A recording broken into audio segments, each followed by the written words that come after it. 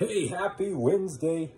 Uh, to go along with yesterday, the question was, if you have these intrusive thoughts, if you have these negative thoughts and you kind of dwell on them, which a lot of us overthinkers do, you know, a lot of us that have anxiety, that have different neurodivergencies or mental health things, a lot of times we can kind of get stuck in our head and we can think of stuff and we can create, we can create a reality that isn't really a reality. So what do I do? Well, firstly, a lot of times I'll tell myself to stop. You know, whether it's in my mind or I'll say it out loud, loud. I'll say stop because you have to realize the stuff that you think, the stuff you believe may not be true. And a lot of people don't want to accept that. A lot of people want to think that everything they think, everything they believe is true. And that's not the case.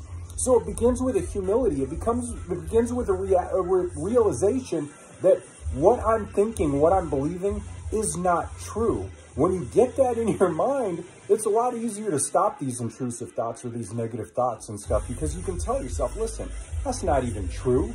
And you kind of can move on to something else. But when you're stuck there believing that everything you think, everything you believe is true, and you know, no matter what anyone else says, you you know the right things. You know this, especially if you're a younger person. Again, I am not picking on younger people. I was a younger person. I'm talking just from my personal experience. When I was younger, I did not have the wisdom to realize that the things that I thought, the worldview that I had was very, very limited. It was based on a few experiences that I had in life, and I had quite a few at the time, but really it was still limited based on where I'm at now. I've met more people. I've had more experience. I've had a, have a larger worldview. I've learned more things about psychology. I've learned more things about human nature. I've learned more things about myself. I learned more things about everyone around me. I've learned more things to that you cannot judge someone on one introduction or, or, or based on, you know, just tiny things that we know about someone else. And a lot of times that's what people are doing. They'll meet someone once and they make up their mind. And I'm an INFJ, so I'm pretty intuitive. I can read the room and stuff like that. But listen, I'm not perfect.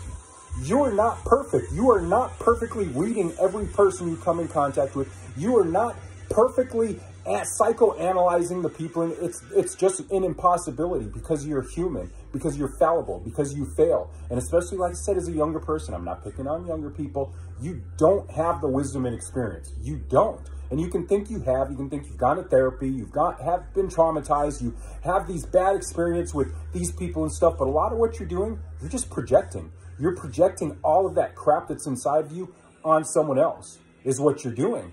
And that stuff needs to stop because like I said, we're punishing, we're destroying relationships, we're hurting each other, we're causing a lot of pain in other people's lives, and then we sit there and we think we're doing the right thing and we're so good and great and stuff, and we're leaving a trail of bodies in our wake that are hurt people and we think it's okay and it's not okay. So that's where I'm getting at. Everything you think, everything you believe, the things you perceive in people, you're not fallible. You're not perfect. You can be completely wrong and think about what you've said and done if you're wrong about it.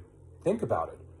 Think about it. Take it really in. Don't ignore it because you can kind of see maybe I hurt a lot of people I shouldn't have hurt. And we need to make up for that. We need to be kinder. Anyways, I love all y'all. Have an awesome Wednesday. You're an awesome, amazing human being. Think about what I'm saying. Peace out. Bye.